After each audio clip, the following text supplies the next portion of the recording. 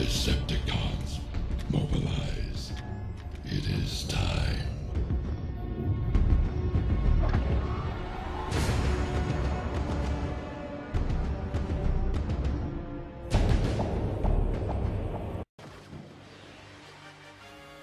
Hola a todos y bienvenidos a una revisión más. En esta ocasión vamos a estar revisando a Transformers Beast Wars Jetstorm. El año pasado, o bueno hace unas semanas, revisamos al Jetstorm Beast Machines y como se los había prometido, esta vez vamos a revisar al Beast Wars que lo adquirí hace algunas semanas ya hacía tiempo que quería hacerme esta figura y pues bueno. Está en su modo de libélula. Aquí están sus detallitos. Le hacemos nuestro 360 para que puedan ver todos sus detalles. Y si se preguntan por qué le faltan los misiles, ah, en un segundo se los voy a explicar. Muy bien. Cuando pasamos la parte de los accesorios, y ya se me cayó el misil. como les iba diciendo, en los accesorios, aquí están los misiles de Jetstone. Desgraciadamente esta figura vino con sus misiles rotos, así que no puedo usarlos con mi Jetstone, pero deberé de adaptárselos para que los pueda volver a disparar. Más adelante le hago una modificación. Muy bien. Ya vimos los detalles en el modo insecto. Y vamos a pasar al modo robot. Pero antes vamos a hacer una comparativa en modo vehículo, bueno, entre paréntesis modo vehículo, en modo insecto, con su contraparte Beast Machines, que también vamos a ver una comparación en modo robot más adelante. Pues bien, aquí pueden ver el largo y el ancho de ambos. Muy bien. Ese es Jetston. Voy a pasar por aquí.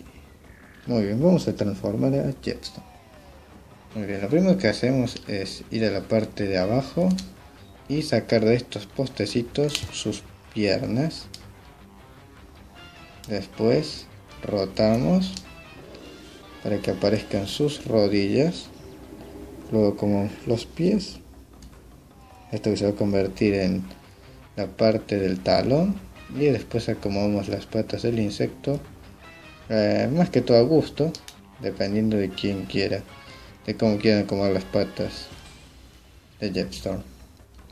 Muy bien, ahora nos vamos aquí a los ensambles de aquí abajo de la cola de la libélula y lo vamos a despegar con un poco de fuerza, eso nos va a liberar una bisagra que se va a convertir en la cintura de Jetstorm. Muy bien, vamos hacia, vamos a la cabeza separamos lo que sería la cabeza del insecto que nos revela ya eh, la cara de Jetstorm ahora simplemente vamos a a ver voy a subir un poco la toma porque Jetstorm está bastante grande. Vamos a subir un poco la toma. Y ahora vamos a quitar desde aquí adentro. Vamos a soltar este ensamblaje luego vamos a ya se saltó uno de los del gimmick del cañón uno de los gimmicks del cañón de los cañones de Jackson. Volvemos a su lugar. Y ahora vamos a conectar esta bisagra en esta otra. Para luego más adelante conectar el cuello. Ah, bueno directamente ya conectemos el cuello. Vamos a procurar no solo de no tardarnos, sino también de no provocarle ninguna línea estrés a nuestra figura. Vamos a encajar así y se sueltan los, se sueltan los cañones y ahora como la cabeza y ahora como las alas de Jetstorm. Muy bien, aquí está Jetstorm de Beast Wars. Vamos a ver que enfoque nuestra cámara. Mm. A ver si puede hacerlo enfocar. Ahí está. Perfecto. Pues bien, aquí tenemos el Jetstorm. de Peace Wars. Muy bien. Vemos que su cabeza tiene un light piping. Muy bonito light piping. Vemos que si seguimos rotando aquí, queda el keyboard de todo. Y pues bueno, después de ese repentino de ese repentino corte, vamos a seguir viendo la figura haciéndole nuestro clásico 360 ahora en su modo robot. Y como les iba comentando el keyboard de la libélula que en toda la parte de la espalda.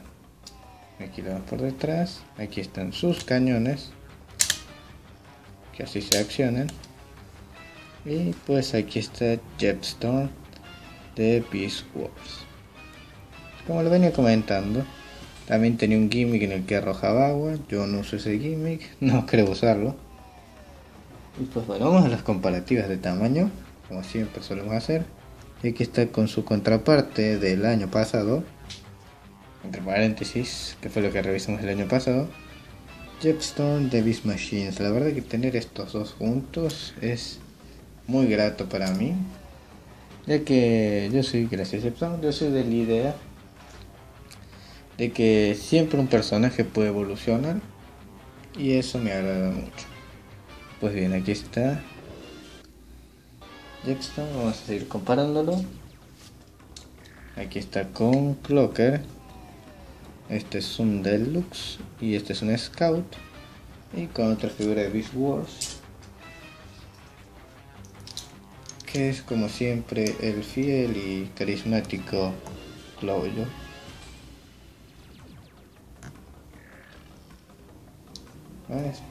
antes de sacar a Claudio, lo voy a dejar un rato aquí. Y para comentar un pequeño dato curioso sobre Jetstar, Jetstar también sale en la serie Beast Wars 2 y salió como un repintón en línea de Takara. Al igual que Claudio que también sale en Beast Wars 2. Pues bien, ya tenemos los comparativos de tamaño. Ahora vamos a ver sus detalles.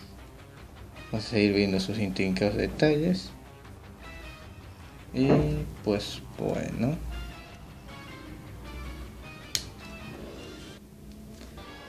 pues bueno, este esta fue la review de Jetstar. Aquí están sus misiles, que especialmente están rotos. Eh, Jetstar de Beast Wars. Ah, claro, me estaba por olvidar una cosa, un detallito importante. Que nosotros vamos aquí en la parte de abajo de Jetstar. Este sí viene con su marca de calor. Me tuve la suerte que me vino con su marca de calor. Y que bueno, porque no tengo muchas figuras. tengo de Beast Wars, algunas que tienen marca de calor y otras no. Pero las mayorías de las que tengo, casi, casi, eh, por lo menos la mayoría tiene marca de calor, así que bueno.